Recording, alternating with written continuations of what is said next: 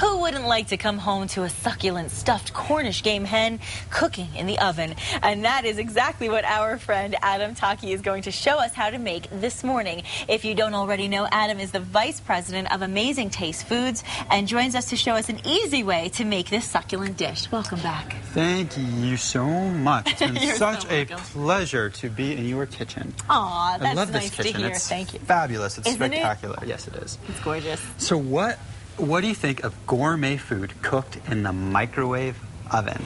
Well, you know, I, I've told you before, I, I kind of am skeptical about being able to have a full meal that is cooked in the oven as opposed to defrosted or reheated.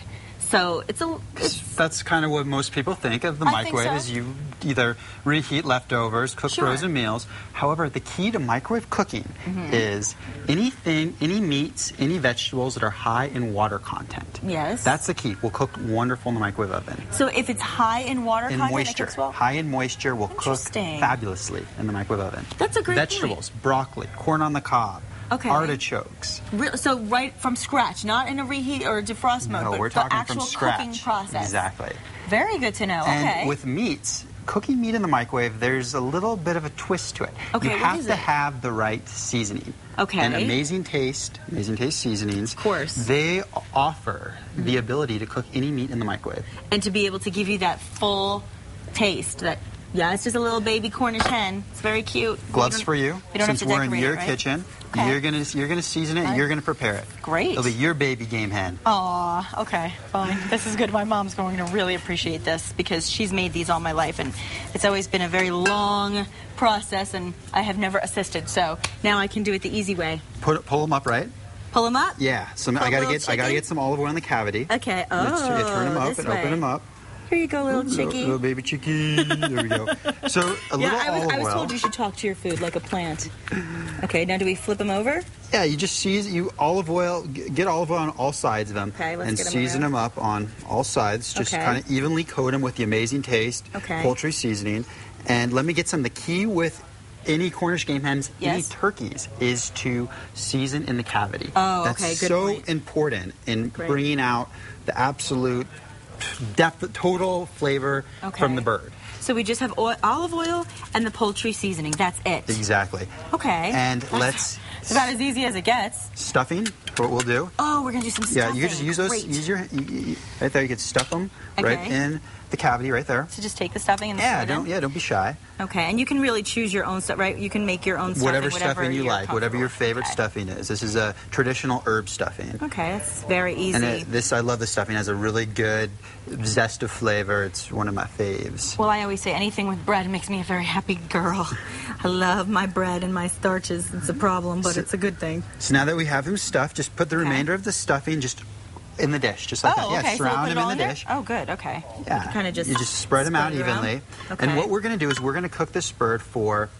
Uh, typically, it's six to eight minutes per pound. Okay, and how many pounds are we here? This pound is this bird is about a pound and a half, uh, roughly. Wow. So I'll start him in. it- I'll put him in for about ten minutes, and I'll check the temperature. Okay. And we'll know he's done when it hits about 180. Oh, okay. And- now we just what would we do? Just take the temperature with one of one with a thermometer to know? Exactly. Always have a thermometer when you're cooking. Okay. And the other great. thing with microwave cooking is the food continues to cook once you bring it out of the microwave. So if you have them at 175, pull him out and let him sit for five minutes, five, eight, five, six, seven minutes, and he'll continue to cook. Is this the reason why often when you're cooking microwavable dishes that, that say microwavable dishes, that they often say leave for an additional couple minutes after the timer goes off? Is that because it continues to continues cook? to cook. See, I never understood that. That's great to know. And if you want to get into the science of microwave cooking, Yes. And, and so I'm not a scientist, but my dad has a PhD Right. in food science. Sure. And food science, and he was one of the pioneers in microwave cooking. and Ah, okay. so w- what happens is the frozen meals, the molecules, Uh-huh. they don't have room to move around because they're frozen together.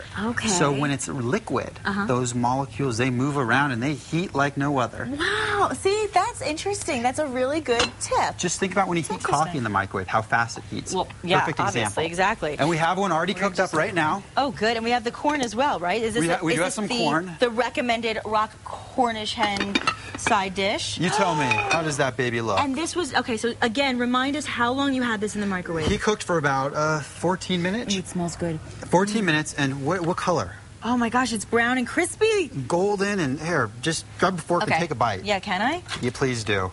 Let's Oh, just wow. family style. Can I go eating. right into this? Go for it. Okay. Go for it. Look at the moisture.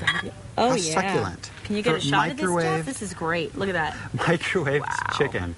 I cannot. I cannot believe that all you had to do was put this in a microwave for what? Ten minutes max.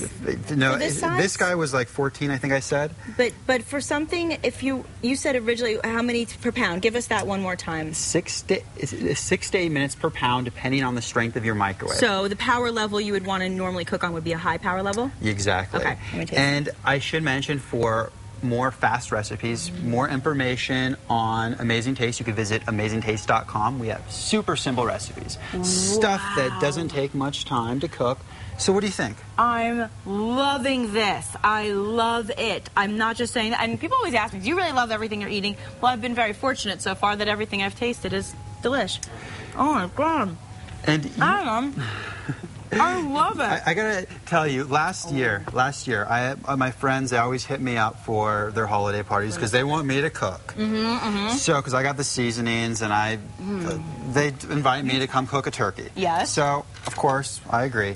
I wake up that morning and I say, I am not in the mood to cook a 20 pound Take bird. that. Sorry, my fault. I dropped it. So, Take a new it's okay. Okay. So I said, I got Cornish game hens in the freezer. Okay, and they're I pulled probably out thinking. four of them. Okay. threw them in cold water, Yeah. defrosted them, and I cooked those things up in the microwave just like this. I took them to the party, and everyone went crazy. They I did? put them on the table, and everyone just helped themselves, just like we're doing right now. Uh, Well, I'm going to ask you an interesting question about that because I think part of us wants to kind of trick people and let them think that we slaved all day to make this. But at the same time, because this is something that you do and you offer, don't you want to tell them the secret too?